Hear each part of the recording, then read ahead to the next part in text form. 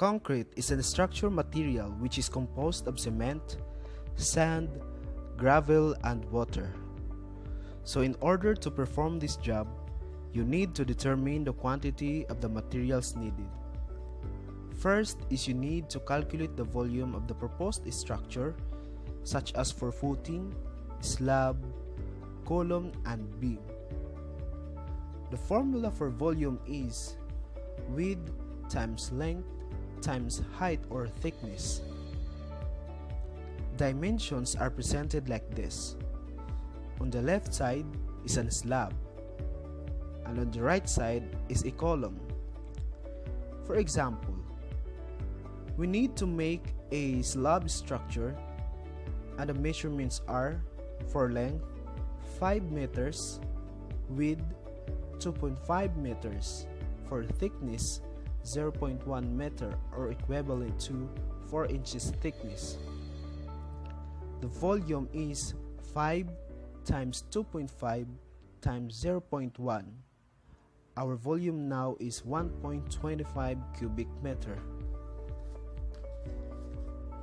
Using a Class B mixture at 2500 design strength, we can find the quantity of cement by multiplying 8.5 to the volume of proposed structure.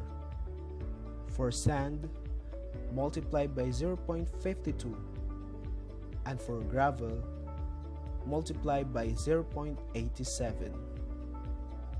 So calculating the quantity for cement, sand and gravel, cement is 1.25 times 8.5 is equal to 10.6 bags of 40 kg cement. For sand, 1.25 times 0.52 is equal to 0.65 cubic meter sand. So that's more than a half cubic of sand. For gravel, 1.25 times 0.87 is equal to 1.1 cubic meter of 3 4 size gravel.